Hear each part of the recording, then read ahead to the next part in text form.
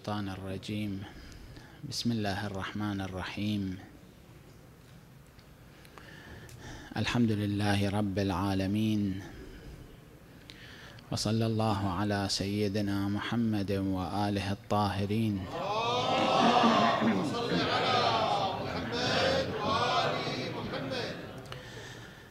ولعنة الله على أعدائهم أجمعين إلى يوم الدين. قال الله الحكيم في محكم كتابه الكريم بسم الله الرحمن الرحيم. فتبارك الله أحسن الخالقين.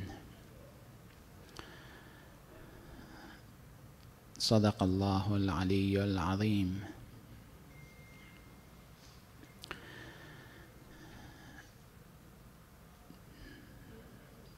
الجسم يتعود. والنفس تتعود.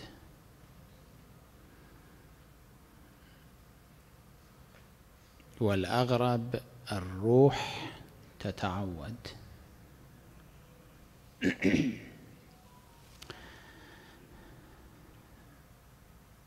من عجيب صنع الله سبحانه وتعالى. اولا الجسم يتعود. يتعود على البرد. أو يتعود على الحار. يتعود على المشقة. أو يتعود على السهولة. يتعود على قلة الأكل يتعود على كثرة الأكل. يتعود على الراحة أو يتعود على الصلابة.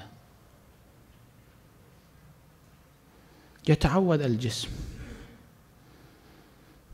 الذي يعيش في هذه البلاد الحارة يتعود جسمه على الحرارة. الذي يعيش في بلاد باردة إن أصابته حرارة جزء من هذه الحرارة قد يموت. يموت ينتهي. وهكذا الذين يعيشون في بلاد باردة جدا أجسامهم تتعود. الذي يعيش في بلاد حارة مثل هذه البلاد إذا ذهب إلى تلك البلاد في الشتاء قد يموت.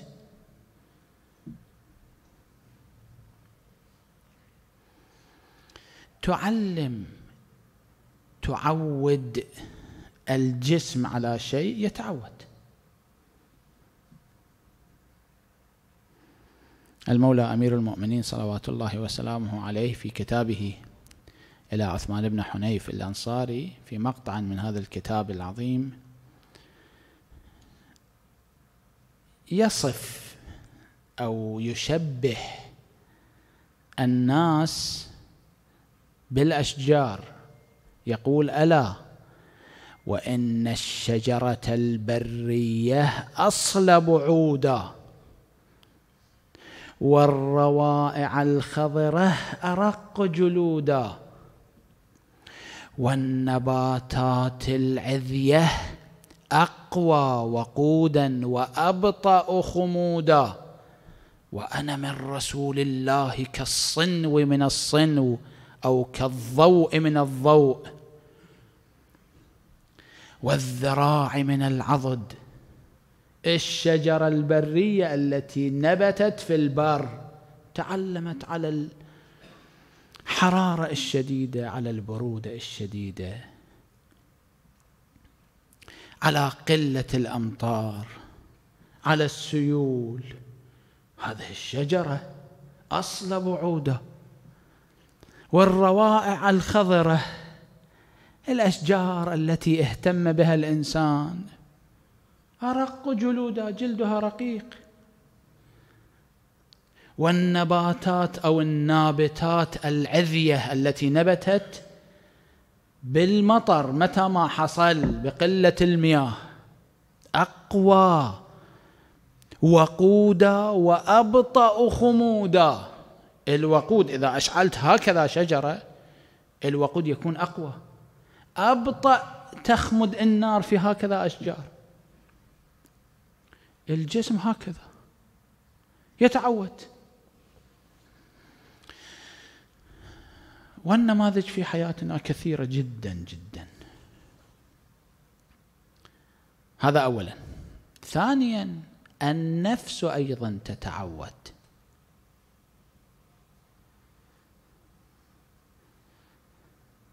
في حديث مشهور أنه جيء لأمير المؤمنين صلوات الله عليه بفالوذج. فالوذج نوع من الحلوى. كانت تصنع إلى يومنا هذا هذه الحلوى موجودة له تسمياتها مختلفة تسمى عصيدة تسمى حلوى تسمى حلوى بسيطة. جيء له بحلوى. فقال عليه الصلاة والسلام إن الحلال طيب. وما هو بحرام؟ أمير المؤمنين ما أكل. يقول وما هو بحرام لكني أكره أن أعود نفسي ما لم أعودها. أنا ما عودت نفسي أن أكل هذه الطيبات. أكره أن أعود نفسي على هذه الأشياء. النفس تتعود. كما أن الجسم يتعود النفس أيضا تتعود. تتعود طلب المزيد منك. تتعود عدم طلب المزيد منك. تتعود الخير تتعود الشر. بعض الناس عود نفسه على الأخلاق الحسنة. بكل سهولة يكبت غضبه. جدا سهل عنده. وبعض الناس عود نفسه على الأخلاق الخشنة لا الحسنة. كلمة حسن وكلمة خشن. كشكل مثل بعض الفارق أربع, أربع نقاط فقط. الذي عود نفسه على الأخلاق الخشنة لا يتمكن أن يكبت غضبه إلا بصعوبة بالغة جدا. وفي كثير من الأحيان أصلا لا يتمكن. ما الفرق؟ هذا تعود الأخلاق الحسنة ذاك تعود الأخلاق الخشنة. الذي تعود بعض المؤمنين هكذا. الذي تعود أن يذهب كل ليلة إلى مجلس حسيني. هذا إذا ما ذهب ليلة واحدة يحس بضيق. أما الذي لم يتعود على ذلك يمر أسبوع لا يحضر مجلس حسيني جدا طبيعي عنده. الذي تعود على صلاة الليل. الذي تعود على الاشتراك في خدمة الإمام الحسين عليه الصلاة والسلام أيام عاشوراء شهر محرم وصفر الذي تعود أن يقرأ زيارة عاشوراء في كل يوم. الذي تعود أن يحيي ليلة الجمعة بالدعاء بالزيارة بالقرآن بالصلاة. هذا إذا فقد مرة واحدة يصعب عليه. كأنه قد فقد شيئا ثمينا. الذي تعود أن يصلي صلاته في أول الوقت. هذا إذا تأخرت صلاته عشر دقائق يحس كأنه مذنب.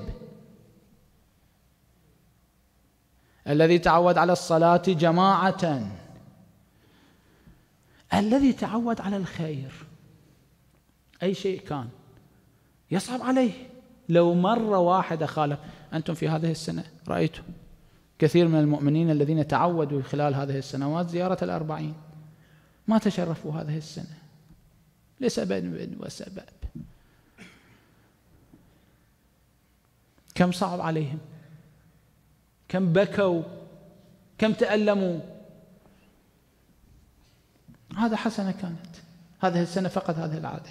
أصلا يحس بذنب كأنه مذنب.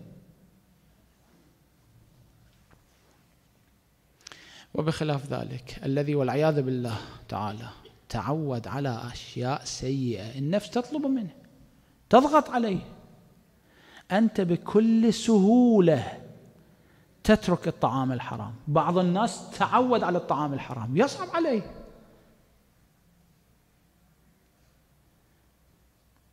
بعض الناس العياذ بالله تعالى تعود على الغيبة. لو مرت ليلة واحدة ما اغتاب فقط شيء. بعض الناس العياذ بالله تعالى تعود على إيذاء الناس بلسانه إيذاء الناس بتصرفاته إيذاء الناس بيده. هذا ايذاء يوم واحد ما ضرب أحد ما شتم أحد ما آذى أحدا بلسانه فاقد شيء. النفس النفس تطلب منه. التعود النفسي هذه ليست مرتبطة بالجسم هذه مرتبطة بالنفس. يتعود. ذاك تعود على الشيء الحسن. إذا تركه يحس بفقدان شيء هذا تعود على شيء سيء. إذا تركه يحس بفقدان شيء.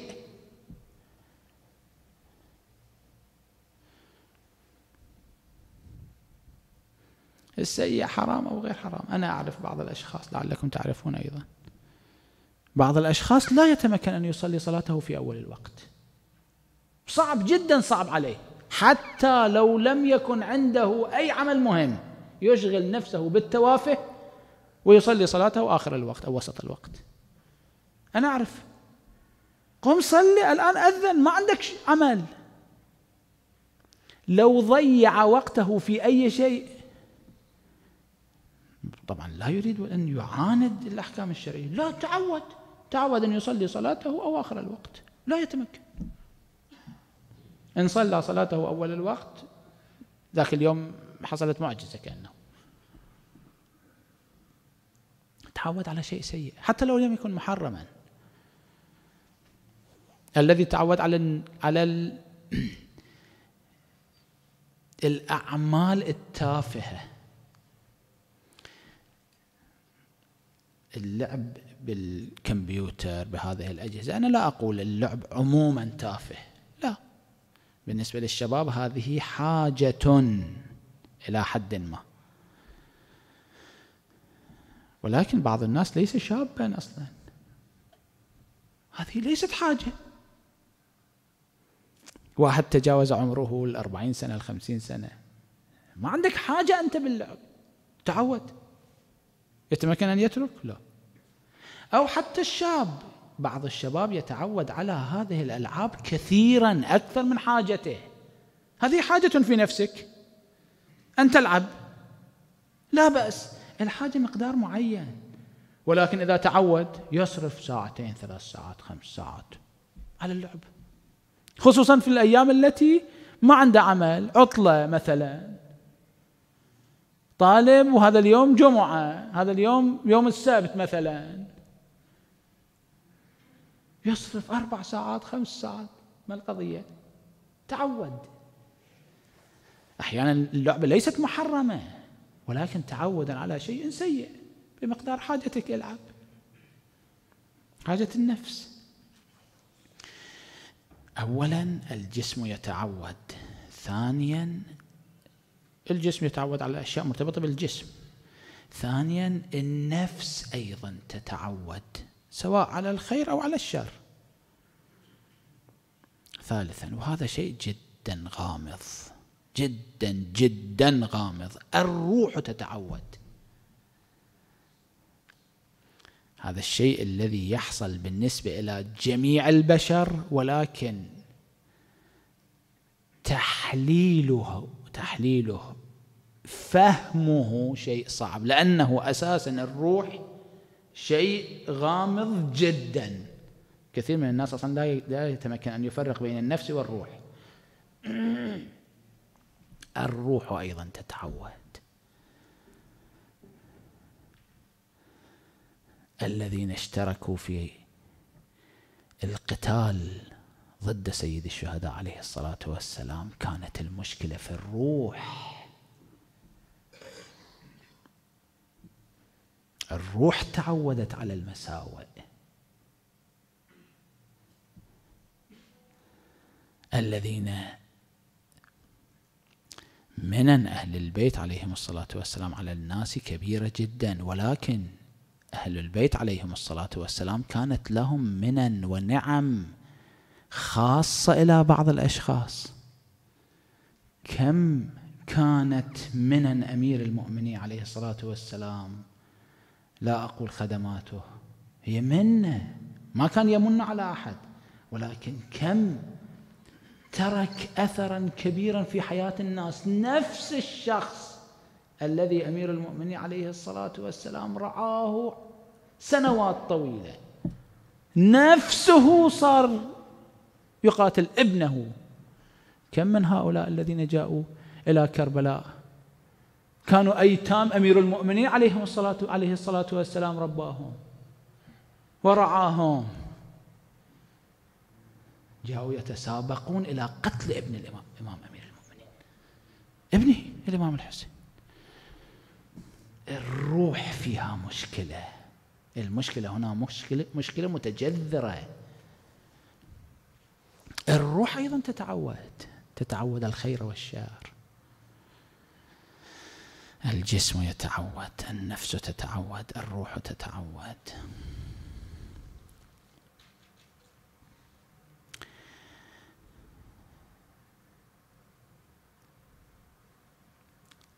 لاحظوا أضرب لكم مثالا وهذا المثال بالضبط ينطبق على تعود الجسم أو النفس أو الروح. التعود يفتح بابا لك. باب خير أو باب شر؟ الذي تعود على عمل حسن كمثال. هذا يجره شيء فيه إلى ذلك العمل الحسن. غير الشخص الذي ما تعود. شخص تعود على صلاة الليل شخص ما تعود على صلاة الليل. بعض المؤمنين وتعرفون بعضهم هذا تعود أن يحضر مجالس فاتحة. كم هو عمل حسن؟ الناس المصابون يذهب إلى هذه الفاتحة يعزي أهل المتوفى يذهب إلى تلك الفاتحة. عمل المجالس التي تقام لأموات. هذا عمل حسن. لا يتمكن أن لا يذهب هذا الشخص. شيء يجره. والشخص الذي ما تعود على هذا الشيء يحتاج إلى الضغط حتى يذهب. التعود يفتح لك بابا. حسنا أم سيئا؟ المثال شخص يفتح حساب هذا الحساب يدر عليه أرباحا. الشخص نائم في بيته الأرباح تأتي إليه. هذا مثال الشيء الحسن الذي نعتبره حسنا الأموال. شخص يفتح بابا على نفسه من مكان فيه عقارب فيه حيات هذا هو النائم عقارب تدخل عليه. العادة هكذا العادة الحسنة والعادة السيئة التعود الحسن يفتح لك بابا. بكل سهولة لا أقول بكل سهولة أصلا لا تتمكن أن تترك. هذا العمل الحسن. والعادة السيئة أيضا تفتح لك بابا. كم من الناس كم من المؤمنين يريد أن يقلع نفسه عن عمل حرام لا يتمكن. لماذا لا يتمكن؟ لأنه تعود. هذا فاتح باب. لا يتمكن أن يغلقه. صعب جدا صعب. إذا كان الأمر كذلك. في هذه الأيام نسمع كثيرا هذا الفيروس الجديد والتوصيات الصحية. التوصيات الصحية كثيرة. من جملة التوصيات الصحية لبس الكمام. من جملة التوصيات الصحية اغسل يديك. من جملة التوصيات الصحية ما يعبر عنه هذه الجهات بالتباعد. طبعا كلمة التباعد مع هذه الكلمات غير مناسبة. يلزم أن يقولوا الابتعاد. لا علينا. الكلمات كلها فعل من طرف. هذه الكلمة صارت فعل من طرفين. على حل لا علينا. الابتعاد أو التباعد. التعود علاجه إذا كان تعودا سيئا. عدم التعود إذا تريد أن توجده هذه الثلاث. ما هي؟ لبس الكمام غسل اليدين الابتعاد أو التباعد. عندنا نفس الثلاثي. أولا البس كمام من الحرام.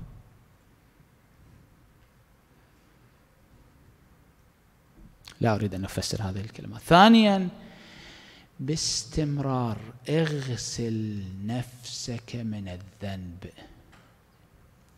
بالاستغفار.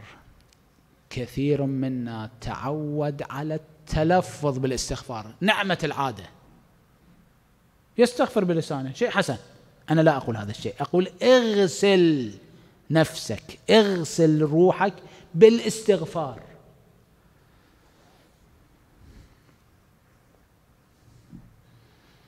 هذا ثانيا. ثالثا. الابتعاد. الابتعاد عن المزالق.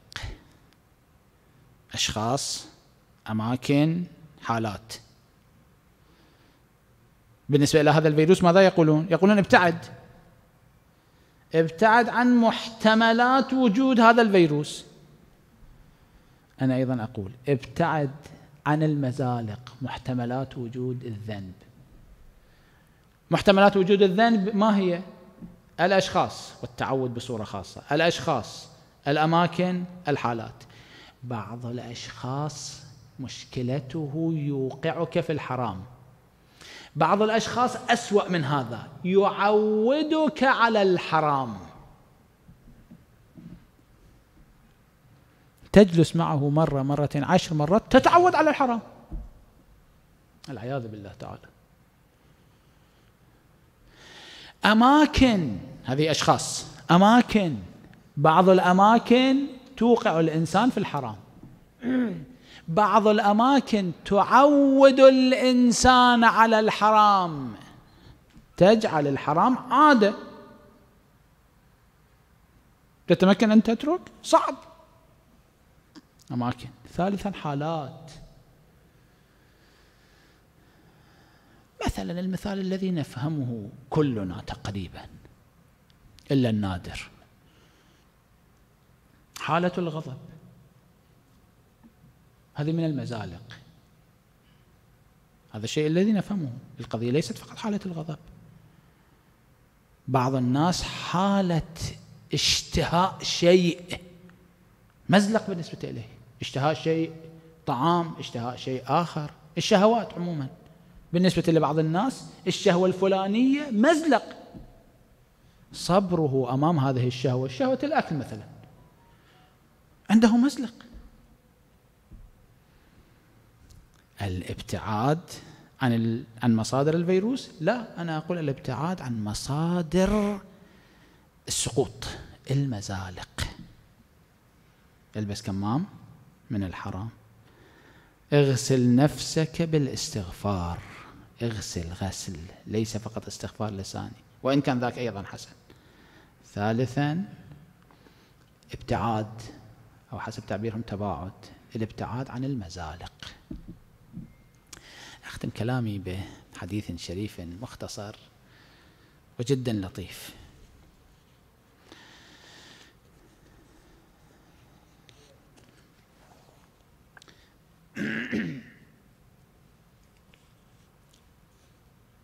قبل أن أقرأ لكم هذا الحديث الشريف كلمة.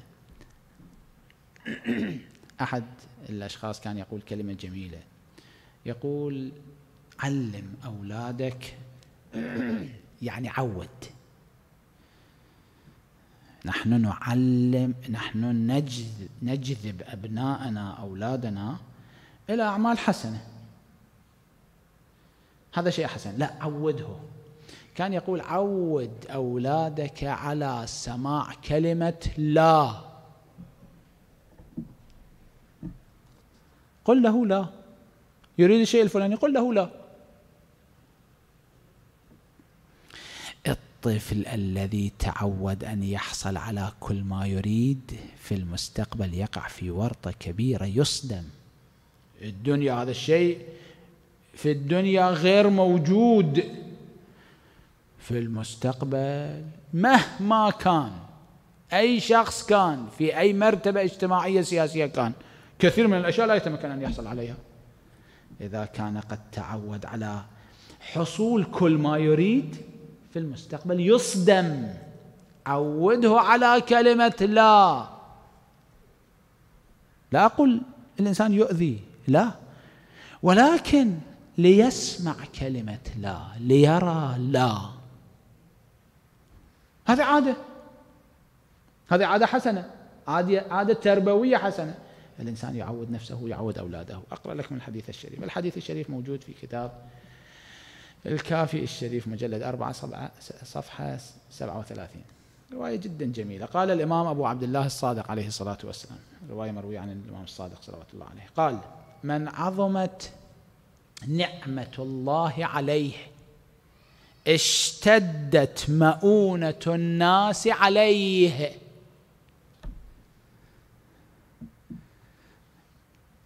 عندك نعمة؟ مؤونة الناس حاجة الناس إليك تزيد تشتد. العبارة جدا جميلة. الإمام عليه الصلاة والسلام ما قال اشتدت مؤونة الناس إليه. قال اشتدت مؤونة الناس عليه يعني يطلعون أبو جدة. يعني يؤذونه. عندك نعمة؟ حاجة الناس التي تؤذيك حاجة الناس التي تتعبك تشتد عليك. متلازمة. تريد النعمة؟ هذه النتيجة. فاستديموا النعمة باحتمال المؤونة. تريد دوام هذه النعمة؟ استديموا طلبوا الدوام. تطلب دوام هذه النعمة؟ احتمال احتمالين تحمل. تحمل هذه المؤونة. ما عندي خلق. تعبت. وأمثال هذه الكلمات. ولا تعرضوها للزوال. تعبت. ما عندي خلق. ما أعمل. يساوي زوال النعمة. إذا زالت النعمة ماذا يحصل؟ فقل من زالت عنه النعمة فكادت أن تعود إليه. النعمة شخص غير متنعم بنعمة. تأتيه نعمة. ممكن. لا أقول ممكن. مليارات ومليارات مليارات النعم هكذا. كم من النعم ما كانت عندنا حصلنا عليها. تحصل. هذا شيء كثير جدا. أما إذا جاءتك النعمة وما جعلتها في الموضع الصحيح إن ذهبت نادرا قليل ما تعود تلك النعمة. من عظمت نعمة الله عليه اشتدت مؤونة الناس عليه. فاستديموا النعمة باحتمال المؤونة. ولا تعرضوها للزوال فقل من زالت عنه النعمة فكادت أن تعود إليه. العادة الحسنة. نسأل الله سبحانه وتعالى بمحمد وآله الطاهرين أن لا يفرق بيننا وبين محمد وآله طرفة عين. اللهم وفقنا لمراضيك جنبنا جميع معاصيك. اللهم صل على محمد وآل محمد وعجل اللهم فرج مهدي آل محمد.